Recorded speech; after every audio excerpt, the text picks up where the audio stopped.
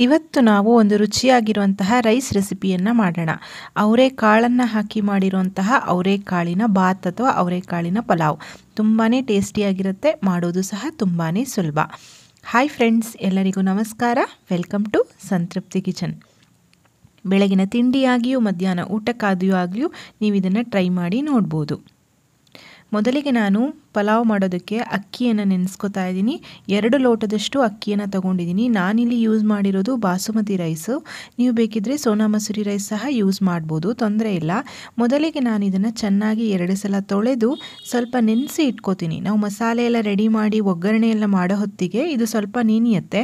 ಈ ರೀತಿ ನೆನೆಯೋದ್ರಿಂದ ತುಂಬ ಉದುರಾಗಿ ಬರುತ್ತೆ ಮತ್ತು ಬೇಗನೆ ಆಗುತ್ತೆ ಅಂತ ಈ ಸ್ಟೆಪ್ಪನ್ನು ಮೊದಲಿಗೆ ಮಾಡ್ತಾ ಇದ್ದೀನಿ. ಅಕ್ಕಿಯನ್ನು ನೀರು ಹಾಕಿ ನೆನೆಸಿಡ್ತಾ ಇದ್ದೀನಿ. ಮತ್ತು ಇಲ್ಲಿ ಮಸಾಲೆ ಪದಾರ್ಥಗಳಾದ ಚಕ್ಕೆ, ಲವಂಗ, ಅನಾನಸ್ ಹೂ ತೊಗೊಂಡಿದ್ದೀನಿ, ಎರಡು ಏಲಕ್ಕಿ ಮತ್ತು ಎರಡು ಪಲಾವ್ ಎಲೆಯನ್ನು ತೊಗೊಂಡಿದ್ದೀನಿ. ಇದನ್ನು ಸಹ ನಾನು ನೀರಿನಲ್ಲಿ ನೆನೆಸಿ ಇಡ್ತಾ ಇದ್ದೀನಿ. ಈ ರೀತಿ ನೆನೆಸೋದ್ರಿಂದ ಅದರ ಫ್ಲೇವರ್ ತುಂಬ ಚೆನ್ನಾಗಿ ಬಿಟ್ಕೊಳ್ಳುತ್ತೆ ಹಾಗಾಗಿ ಇದನ್ನು ನೆನೆಸಿಡ್ತಾ ಇದ್ದೀನಿ. ಈಗ ಮಿಕ್ಸರ್ ಜಾರಿಗೆ ಒಂದು ನಾಲ್ಕು ಹಸಿ ಮೆಣಸಿನ್ಕಾಯಿನ ತೊಗೊಂಡಿದ್ದೀನಿ. ಖಾರ ಜಾಸ್ತಿ ಬೇಕು ಅಂದರೆ ನೀವು ಇಲ್ಲಿ ಜಾಸ್ತಿನ ಮಾಡ್ಕೊಳ್ಬೋದು. ಒಂದು ಹಿಡಿಯಷ್ಟು ಪುದೀನ ಸೊಪ್ಪನ್ನು ತೊಗೊಂಡಿದ್ದೀನಿ, ಹೆಚ್ಚಿರೋವಂಥದ್ದು. ಮತ್ತು ಕೊತ್ತಂಬರಿ ಸೊಪ್ಪು, ಒಂದು ಅರ್ಧ ಇಂಚಿನಷ್ಟು ಶುಂಠಿಯನ್ನು ಹಾಕ್ತಾಯಿದ್ದೀನಿ ಮತ್ತು ಒಂದು ಗಡ್ಡೆ ಬೆಳ್ಳುಳ್ಳಿಯನ್ನು ಸಹ ಸುಲಿದಿಟ್ಕೊಂಡಿದ್ದೆ. ಅದನ್ನು ಸಹ ಮಿಕ್ಸರ್ ಜಾರ್ಗೆ ಹಾಕಿ ರುಬ್ಕೋಬೇಕಾಗತ್ತೆ. ಇದು ಹಸಿರು ಮಸಾಲೆ. ನಾವಿಲ್ಲಿ ಎರಡು ಮಸಾಲೆಗಳನ್ನು ಮಾಡ್ತೀವಿ ಇದಕ್ಕೆ. ಮೊದಲಿಗೆ ಇದಿಷ್ಟು ನಾನು ನುಣ್ಣಗೆ ರುಬ್ಕೊಂಡು ಬರ್ತೀನಿ. ನೋಡಿ ಇವಾಗ ಇದು ಚೆನ್ನಾಗಿ ರುಬ್ಬಿಟ್ಕೊಂಡಿದ್ದೀನಿ. ಈ ಮಸಾಲೆಯನ್ನು ಒಂದು ಪಾತ್ರೆಗೆ ನಾನು ಟ್ರಾನ್ಸ್ಫರ್ ಮಾಡ್ಕೊಳ್ತಾ ಇದ್ದೀನಿ. ಹಲವಾರು ರೀತಿಯ ರೈಸ್ ರೆಸಿಪಿಗಳನ್ನು ಸಾಮಾನ್ಯವಾಗಿ ನೀವು ಮಾಡಿರ್ತೀರಾ ಅವರೆಕಾಳು ಸೀಸನ್ನಲ್ಲಿ ಅವರೆಕಾಳನ್ನು ಹಾಕಿ ಮಾಡಿ ನೋಡಿ ತುಂಬಾ ರುಚಿಯಾಗಿರುತ್ತೆ ಫ್ರೆಂಡ್ಸ್ ಈಗ ಅದೇ ಮಿಕ್ಸರ್ ಜಾರಿಗೆ ಒಂದು ಅರ್ಧ ಕಪ್ನಷ್ಟು ತೆಂಗಿನಕಾಯಿ ತುರಿಯನ್ನು ಹಾಕ್ತಾ ಇದ್ದೀನಿ. ತೆಂಗಿನಕಾಯಿ ತುರಿ ಮತ್ತು ಒಂದು ಚಮಚದಷ್ಟು ಧನಿಯಾ ಬೀಜದ ಪುಡಿಯನ್ನು ಹಾಕ್ತಾ ಇದ್ದೀನಿ, ಧನಿಯಾ ಪೌಡರ್ ಕೊತ್ತಂಬರಿ ಪುಡಿಯನ್ನು ಹಾಕ್ತಾ ಇದ್ದೀನಿ. ಇದು ಹಾಕೋದ್ರಿಂದ ಒಳ್ಳೆ ಫ್ಲೇವರ್ ಬರುತ್ತೆ ಅಂತ ಅಷ್ಟೇ. ಸ್ವಲ್ಪನೇ ನೀರನ್ನು ಹಾಕಿ ಇದನ್ನು ಸಹ ನುಣ್ಣಗೆ ರುಬ್ಕೊಳ್ತಾ ಇದ್ದೀನಿ. ಈಗ ಎರಡೂ ಮಸಾಲೆಗಳು ಸಹ ನಮಗೆ ತಯಾರಾಗಿದೆ. ಗ್ರೀನ್ ಮಸಾಲೆ ಮತ್ತು ವೈಟ್ ಮಸಾಲೆ ಎರಡೂ ರೆಡಿಯಾಗಿದೆ ಈಗ ಕುಕ್ಕರಿಗೆ ಎರಡು ಚಮಚದಷ್ಟು ಎಣ್ಣೆಯನ್ನು ಹಾಕ್ತಾ ಇದ್ದೀನಿ. ಎಣ್ಣೆ ಮತ್ತು ತುಪ್ಪ ಎರಡನ್ನೂ ನಾನಿಲ್ಲಿ ಯೂಸ್ ಮಾಡ್ತಾ ಇದ್ದೀನಿ. ನೀವು ಬೇಕಿದ್ರೆ ಯಾವ್ದು ಬೇಕಾದರೂ ಒಂದನ್ನು ಯೂಸ್ ಮಾಡ್ಬೋದು. ಬರೀ ತುಪ್ಪದಲ್ಲಿ ಸಹ ಮಾಡ್ಬೋದು ಅಥವಾ ಬರೀ ಎಣ್ಣೆಯಲ್ಲಿ ಸಹ ಮಾಡ್ಬೋದು, ತೊಂದರೆ ಇಲ್ಲ. ಈಗ ಚೆನ್ನಾಗಿ ಇದು ಬಿಸಿ ಆದಮೇಲೆ ನಾವೇನು ನೆನೆಸಿಟ್ಕೊಂಡಿದ್ದೀವಂತಹ ಚಕ್ಕೆ, ಲವಂಗ, ಏಲಕ್ಕಿ ಮತ್ತು ಪಲಾವ್ ಎಲೆ, ಅನಾನಸ್ ಮೊಗ್ಗು ಅದನ್ನು ಹಾಕಿ ನಂತರ ಹೆಚ್ಚಿರುವಂತಹ ಈರುಳ್ಳಿ, ಒಂದು ದೊಡ್ಡ ಈರುಳ್ಳಿಯನ್ನು ಹೆಚ್ಚಿಟ್ಕೊಂಡಿದ್ದೀನಿ ಉದ್ದುದ್ವಾಗಿ. ಅದನ್ನು ಹಾಕಿಬಿಟ್ಟು ಈಗ ಚೆನ್ನಾಗಿ ಇದನ್ನು ಫ್ರೈ ಮಾಡ್ಕೊತಾ ಇದ್ದೀನಿ. ಸ್ವಲ್ಪ ಟ್ರಾನ್ಸ್ಪರೆಂಟ್ ಆಗಬೇಕು. ಅಲ್ಲಿ ತನಕ ಇದನ್ನು ಫ್ರೈ ಮಾಡ್ಕೊಳ್ಳಿ. ತುಂಬಾ ಬೇಗನೂ ಸಹ ಆಗುತ್ತೆ ಇದು. ಅಂಥ ಟೈಮ್ ಏನು ಹಿಡಿಯೋದಿಲ್ಲ ನಮಗೆ ಮಾಡೋದಕ್ಕೆ. ನೋಡಿ ಇಲ್ಲಿ ಈರುಳ್ಳಿ ಚೆನ್ನಾಗಿ ಫ್ರೈ ಆದಮೇಲೆ ನಾವು ಮಾಡಿಟ್ಕೊಂಡಿರುವಂತಹ ಹಸಿರು ಮಸಾಲೆ ಗ್ರೀನ್ ಮಸಾಲೆ ಏನಿದೆ ಅದನ್ನು ಹಾಕಿಬಿಟ್ಟು ಅದರಲ್ಲಿರುವಂತಹ ಹಸಿ ವಾಸನೆ ಹೋಗೋ ತನಕ ಫ್ರೈ ಮಾಡ್ಕೊಳ್ಳೋಣ. ಇಲ್ಲಿ ನಾವು ಶುಂಠಿ, ಬೆಳ್ಳುಳ್ಳಿ ಹಾಕಿರೋದ್ರಿಂದ ಅದರಿಂದ ಹಸಿ ವಾಸನೆ ಹೋಗಬೇಕು. ನಂತರ ನಾನಿಲ್ಲಿ ಅಕ್ಕಿಯನ್ನು ಎಷ್ಟು ತೊಗೊಂಡಿದ್ದೀನೋ ಅದರಲ್ಲಿ ಅರ್ಧ ಭಾಗದಷ್ಟು ಅವರೆಕಾಳನ್ನು ತೊಗೊಂಡಿದ್ದೀನಿ. ಫ್ರೆಶ್ ಆಗಿರುವಂತಹ ಅವರೆಕಾಳು. ಇದನ್ನು ಬಿಡಿಸಿಟ್ಕೊಂಡಿದ್ದೆ ಅವರೆಕಾಯನ್ನು, ಇದನ್ನು ಹಾಕಿಬಿಟ್ಟು ಮಸಾಲೆ ಒಟ್ಟಿಗೆ ಚೆನ್ನಾಗಿ ಫ್ರೈ ಮಾಡ್ತಾ ಇದ್ದೀನಿ.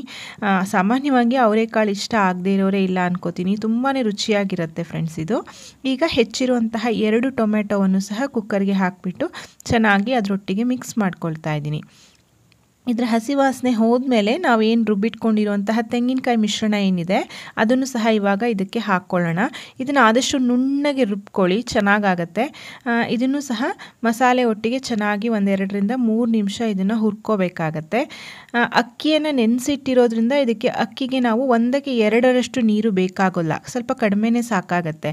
ಈಗ ನಾನು ಎರಡು ಲೋಟ ಅಕ್ಕಿಯನ್ನು ತೊಗೊಂಡಿದ್ದೀನಲ್ಲ, ಸೊ ಮೂರು ಲೋಟದಷ್ಟು ನೀರನ್ನು ಹಾಕ್ತಾ ಇದ್ದೀನಿ. ನಾನು ಮಿಕ್ಸರ್ ಜಾರ್ಗೆ ಹಾಕಿರುವಂತಹ ನೀರು ಎಲ್ಲದನ್ನು ಸೇರಿಸಿ ಹಾಕ್ತಾ ಇದ್ದೀನಿ. ಈ ರೀತಿ ಹಾಕಿಬಿಟ್ರೆ ನಮ್ಗೆ ಅಳತೆಯಲ್ಲಿ ವ್ಯತ್ಯಾಸ ಆಗೋದಿಲ್ಲ. ಪಲಾವ್ ತುಂಬ ಉದುರಾಗಿ ಚೆನ್ನಾಗಿ ಬರುತ್ತೆ. ಹಾಗಾಗಿ ಎರಡು ಲೋಟ ಅಕ್ಕಿಗೆ ಮೂರು ಲೋಟದಷ್ಟು ನೀರನ್ನು ಹಾಕಿ ರುಚಿಗೆ ತಕ್ಕಷ್ಟು ಉಪ್ಪನ್ನು ಹಾಕ್ಕೊಳ್ಳೋಣ. ನೀವು ಅಕ್ಕಿ ಯಾವ ಅಕ್ಕಿನ ತೊಗೊಳ್ತೀರೋ, ಎಷ್ಟು ನೀರನ್ನು ಹಿಡಿಸುತ್ತೆ ಅಂತ ನೋಡಿಕೊಂಡು ಹಾಕ್ಕೊಳ್ಳೋದು ಒಳ್ಳೆಯದು ಉಪ್ಪನ್ನು ಹಾಕಿ ಮಿಕ್ಸ್ ಮಾಡಿದ್ಮೇಲೆ ಈ ನೀರು ಚೆನ್ನಾಗಿ ಕುದಿ ಬಂದ ಮೇಲೇ ನಾವು ಅಕ್ಕಿಯನ್ನು ಹಾಕಬೇಕು. ಕುದಿಯೋಕ್ಕಿಂತ ಮುಂಚೆ ಹಾಕಬೇಡಿ. ಚೆನ್ನಾಗಿ ಬಾಯ್ಲ್ ಆಗ್ತಾ ಇದೆ ಅಂತ ಅನ್ನುವಾಗ ನೆನೆಸಿಟ್ಟಿರುವಂತಹ ಅಕ್ಕಿಯನ್ನು ಹಾಕ್ಕೊಳ್ಳೋಣ ಈ ರೀತಿ ಹಾಕೋದ್ರಿಂದ ಅಕ್ಕಿಯಲ್ಲಿ ಮಸಾಲೆ ತುಂಬ ಚೆನ್ನಾಗಿ ಹಿಡಿಯುತ್ತೆ. ಮತ್ತು ಮಸಾಲೆ ಎಲ್ಲ ಮೇಲೆ ಕೂತ್ಕೊಂಡು ಅನ್ನ ಮಾತ್ರ ಕೆಳಗೆ ಕೆಲವೊಂದು ಟೈಮ್ ಆ ಥರ ಆಗುತ್ತೆ. ಆ ರೀತಿ ಆಗಲ್ಲ ಇದು. ತುಂಬ ಚೆನ್ನಾಗಿ ಮಿಕ್ಸ್ ಆಗುತ್ತೆ. ಮತ್ತು ಇವಾಗ ಒಂದು ಅರ್ಧ ಕಡಿಯಷ್ಟು ನಿಂಬೆ ಹಣ್ಣಿನ ರಸವನ್ನು ಇಲ್ಲಿ ಕಡೆಯಲ್ಲಿ ನಾನು ಸೇರಿಸ್ತಾ ಇದ್ದೀನಿ. ಮತ್ತು ಮೇಲ್ಗಡೆಯಿಂದ ಒಂದು ಚಮಚದಷ್ಟು ತುಪ್ಪವನ್ನು ಹಾಕ್ತಾ ಇದ್ದೀನಿ. ಈ ರೀತಿ ತುಪ್ಪ ಹಾಕೋದ್ರಿಂದ ತುಪ್ಪದ ಪರಿಮಳ ಆಗಿ ಚೆನ್ನಾಗಿರುತ್ತೆ ಅಂತ ಇವಾಗ ಕ್ಲೋಸ್ ಮಾಡೋಣ. ಕುಕ್ಕರ್ ಲಿಡ್ಡನ್ನು ಕ್ಲೋಸ್ ಮಾಡಿ ನಾನು ಎರಡು ವಿಷಲ್ ಕೂಗಿಸ್ಕೊಳ್ತಾ ಇದ್ದೀನಿ. ಎರಡೇ ವಿಷಲ್ ಸಾಕಾಗತ್ತೆ ಇದಕ್ಕೆ. ನೋಡಿ ಪ್ರೆಷರ್ ಇಳಿದ ಮೇಲೆ ತೆಗಿತಾ ಇದ್ದೀನಿ. ಎಷ್ಟು ಚೆನ್ನಾಗಿ ಉದ್ರುದ್ರಾಗಿ ಬಂದಿದೆ. ನಾನು ಆಗಲೇ ಹೇಳಿದಾಗೆ ಮಸಾಲೆ ಎಲ್ಲದಕ್ಕೂ ಹಿಡ್ಕೊಂಡಿದೆ. ಕೆಳಗಡೆ ಅನ್ನ ಮಾತ್ರ ಕೂತಿಲ್ಲ. ನಿಮಗೆ ಬಣ್ಣ ನೋಡಿದರೆ ಗೊತ್ತಾಗ್ತಾ ಇದೆ ಅನಿಸುತ್ತೆ. ಅದಕ್ಕೆ ಇದನ್ನ ಯಾವಾಗೂ ಕುದಿ ಬಂದ ಮೇಲೇ ಅಕ್ಕಿ ಹಾಕಿ ನಾವು ಲಿಡ್ಡನ್ನು ಕ್ಲೋಸ್ ಮಾಡೋದು ಒಳ್ಳೆಯದು ನಿಧಾನಕ್ಕೆ ಇದನ್ನು ತಿರುಗಿಸ್ಕೊಳ್ಳೋಣ. ಬಾಸುಮತಿ ರೈಸ್ ಆಗಿರೋದ್ರಿಂದ ಬೇಗ ಒಡೆದು ಹೋಗುತ್ತೆ. ಬಿಸಿ ಬಿಸಿ ಇರುವಾಗ ತುಂಬ ಮಿಕ್ಸ್ ಮಾಡಿಬಿಟ್ರೆ ಹಾಗಾಗಿ. ಒಳ್ಳೆ ಪರಿಮಳ ಬರ್ತಾ ಇದೆ. ತುಂಬಾ ಈಸಿಯಾಗೂ ಸಹ ಇದೆ. ಖಂಡಿತ ಬ್ರೇಕ್ಫಾಸ್ಟಿಗೆ ಅಥವಾ ಲಂಚಿಗೆ ನೀವು ಟ್ರೈ ಮಾಡಿ ನೋಡ್ಬೋದು. ನೋಡಿ ರುಚಿ ರುಚಿಯಾಗಿರುವಂತಹ ಅವರೆಕಾಳಿನ ಪಲಾವ್ ತಯಾರಾಯಿತು. ನೀವು ಇದನ್ನು ನಿಮ್ಮ ಇಷ್ಟದ ಯಾವುದಾದ್ರೂ ರಾಯ್ತರ ಜೊತೆ ಸರ್ವ್ ಮಾಡ್ಬೋದು, ಇಲ್ಲಾಂದರೆ ಹಾಗೆ ಸಹ ತಿನ್ಬೋದು. ತುಂಬ ಚೆನ್ನಾಗಿರುತ್ತೆ. ನಾನು ಇದನ್ನು ಸೌತೆಕಾಯಿ ಮತ್ತು ಈರುಳ್ಳಿ ಹಾಕಿ ಮಾಡಿರುವಂತಹ ರಾಯ್ತ ಜೊತೆ ಸರ್ವ್ ಮಾಡ್ತಾ ಇದ್ದೀನಿ.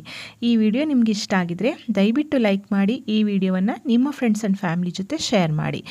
ಮತ್ತೊಂದು ಅಡಿಗೆಯೊಂದಿಗೆ ಮತ್ತೆ ಬರ್ತೇನೆ. ಅಲ್ಲಿವರೆಗೂ ಧನ್ಯವಾದಗಳು.